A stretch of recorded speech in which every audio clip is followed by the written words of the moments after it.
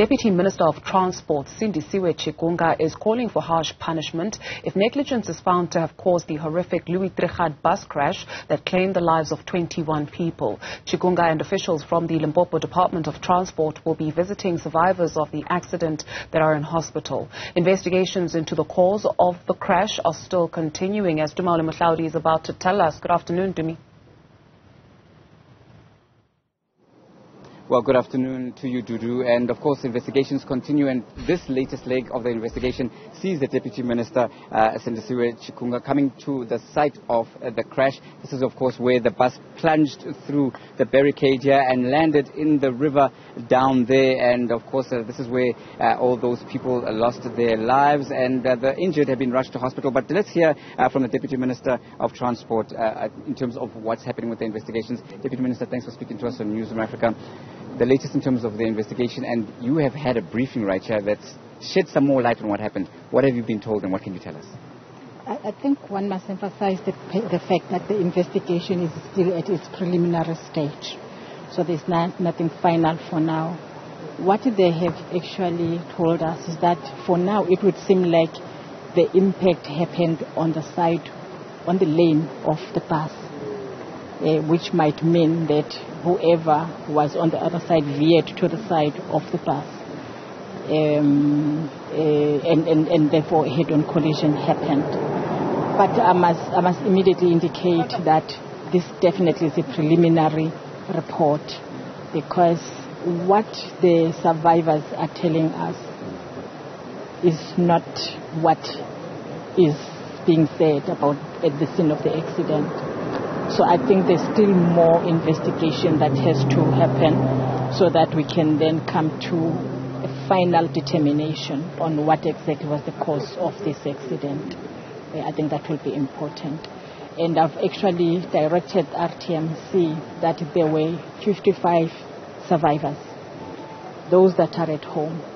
55 of them have to be interviewed so that all of them can tell us, like you were at the hospital, the, the line of reasoning was almost the same and probably uh, may not be what is said at the scene of the accident. So we need to find something that says, indeed, this was the reason for the accident. So we are at a, a preliminary stage. There's nothing final.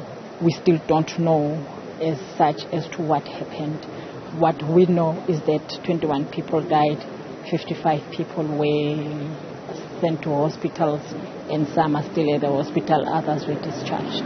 Having said that, uh, Madam Deputy Minister, at this particular stage, it is still concerning to hear that the reports uh, from uh, particularly the police, from what they found, is that it seems as if the cash and transit vehicle was not roadworthy. This will also form part of investigations.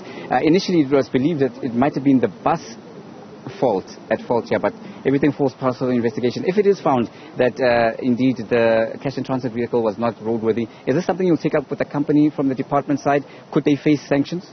Definitely. If, if, if, if ultimately we conclude that there was negligence on the side of whoever, whether it is the driver who was driving the car and the car was unroadworthy, whether it is the bus or it is the, the, the, the, cash transit car, whoever will have to face the mighty of the law and, and, and the full might of the law and, and, and, and possibly be charged with culpable homicide.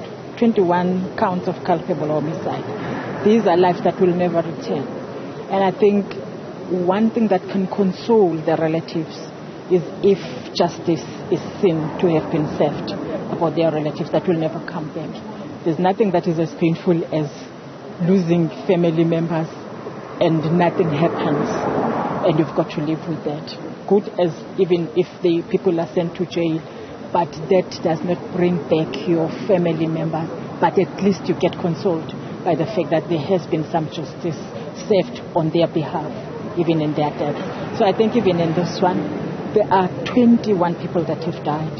And I think somehow somebody must be held accountable for that if that is the case. If there's no one, then of course that must be clear that you know it was a real accident because we are human beings. With everything that we can do, we can still make error. Sometimes that is very costly. uh, for the country. I just want to say that these accidents are very costly for South Africa. Uh, just for the previous year, we estimate that they costed the country 188 billion rand.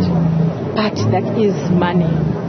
There is the other, the other side of, of these accidents that can never be costed. You never bring back your family members. These are some young breadwinners. They will never come back. So it's not just about the cost to the country, which is important, but it's more than that. And, and, and, and I think that is what we need to take care of.